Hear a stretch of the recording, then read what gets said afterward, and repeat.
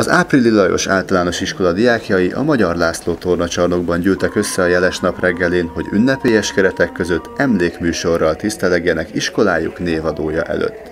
Elsőként az Aranyalma páros előadását kísérhették figyelemmel a tanulók. A duó a magyar néphagyomány forrásaiból töltekezve az esztendő jeles napjaihoz igazodva muzsikál kicsiknek és nagyoknak, és ez nem volt másként most sem, hiszen ezúttal reneszánsz dallamokat hallhatott a közönség.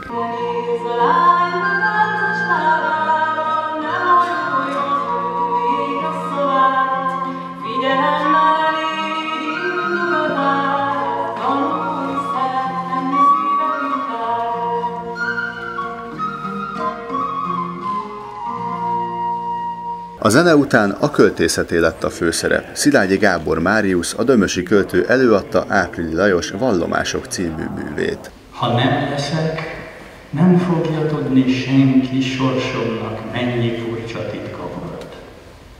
A hűt sorok meg annyi érckoporsó, és a könyv, a könyvem gránit kripta volt. De túl romon, ha perceljen csodáknak, a mély megkondul, mintha vallana, s a bolt alól harangtisztán kicsengő, s magasba száll Ünnepi beszédet mondott Bozóki Marianna intézményvezető. Az iskola előjárója kiemelte, ez nem egy átlagos áprili nap, hiszen a költő születésének 130. és halálának 50. évfordulója mellett az iskola idén ünnepli fennállásának 230. jubileumát is. Bozóki Marianna részletesen bemutatta a Jékeli Lajos néven tanárként, Áprili Lajos néven költőként maradandó alkotó ember élettörténetét. Költő és tanár, tanár és költő. Milyen távoli területei ezek az életnek?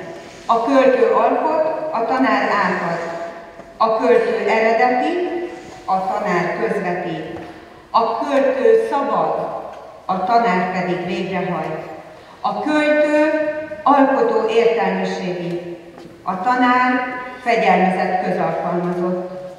A költő versében személyisége áll középpontban, a tanár magyarázataiban a tárgy.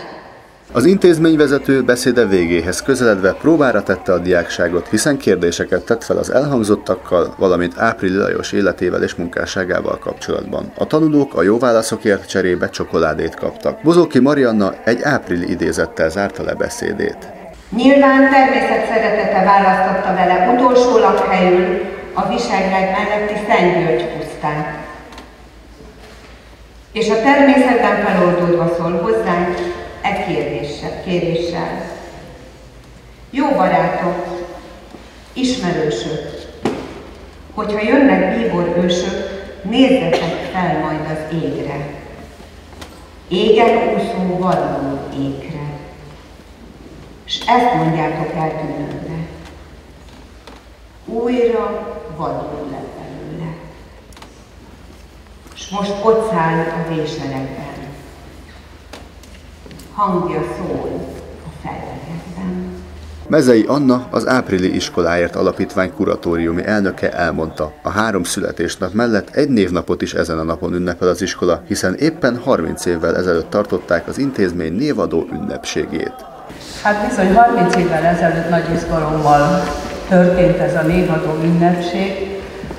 Nagyon eh, az egész városunk, Visegrád készült erre Április Lajos születésének a századik évfordulóján sikerült ezt a névfelvételt el, megkapnunk, és nem volt még tornaterem, ott azon a kicsi aula részen, a lépcsőházban ott tudtuk megrendezni, nagyon sok érdeklődő vendég érkezett ide, de szűkösen, de mármint a helybe szűkösen, de nagyon szép ünnepséget sikerült ezen a napon megrendeznünk. A beszédet követően az iskola nyugalmazott igazgatója átadta a Visegrádi Képek című könyvecskét az első osztályosok számára, majd sor került az új tanárok köszöntésére is. Az ünnepélyes megnyitó az Aranyalma páros előadásával és a Ragyogó Madár című rajzpályázat eredmény hirdetésével zárult.